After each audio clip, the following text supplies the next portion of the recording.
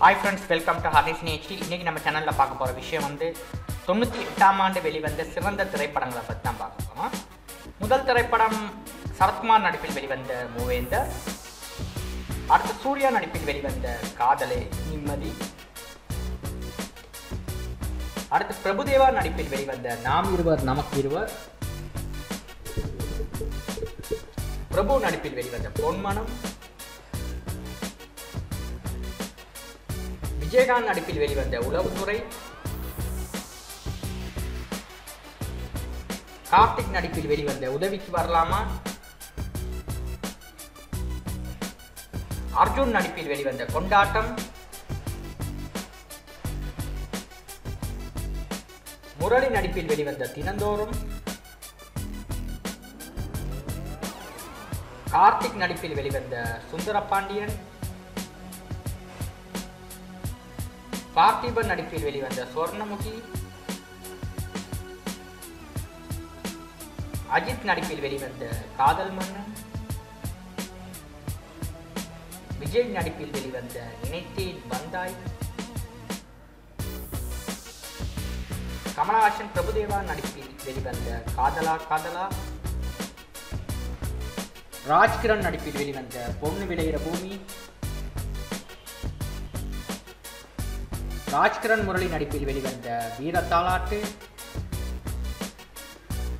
முரளி நடிப்பில் வெளிவந்த ரத்னா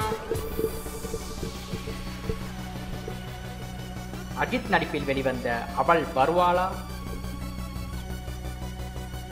கார்த்திக் நடிப்பில் வெளிவந்த ஹரிச்சந்திரா பிரபு நடிப்பில் வெளிவந்த இனியவளே விஜய் நடிப்பில் வெளிவந்த பிரியமுடன் சரத்குமார் நடிப்பில் வெளிவந்த நட்புக்காக விஜயகாந்த் நடிப்பில் வெளிவந்த தர்மா முரளி நடிப்பில் வெளிவந்த பூந்தோட்டம்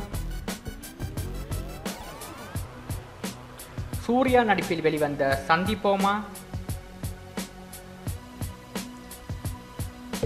சத்யராஜ் நடிப்பில் வெளிவந்த கல்யாண கலாட்டா லிவிங்ஸ்டன் நடிப்பில் வெளிவந்த சொல்லாமலே விஜய் நடிப்பில் வெளிவந்த நிலாவேவா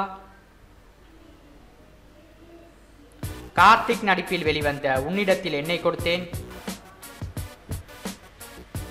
அர்ஜுன் நடிப்பில் வெளிவந்த தாயின் மணிக்கொடி பிரசாந்த் நடிப்பில் வெளிவந்த கண்ணெதிரே தோன்றினால் தேவயானி நடிப்பில் வெளிவந்த செந்தூரம் முரளி நடிப்பில் வெளிவந்த உன்னுடன் முரளி நடிப்பில் வெளிவந்த தேசிய கீதம் பிரபு நடிப்பில் வெளிவந்த என்னுயிர் நீதானே? சரத்குமார் நடிப்பில் வெளிவந்த சிம்ம ராசி. விஜயகாந்த் நடிப்பில் வெளிவந்த வீரம் விளைஞ்ச மண்ணு. பார்த்திபன் நடிப்பில் வெளிவந்த புதுமை பித்தன். அஜித் நடிப்பில் வெளிவந்த உயிரோடு உயிராக. கார்த்திக் நடிப்பில் வெளிவந்த பூவேலி. ராஜ்கிரண் நடிப்பில் வெளிவந்த தலைமுறை.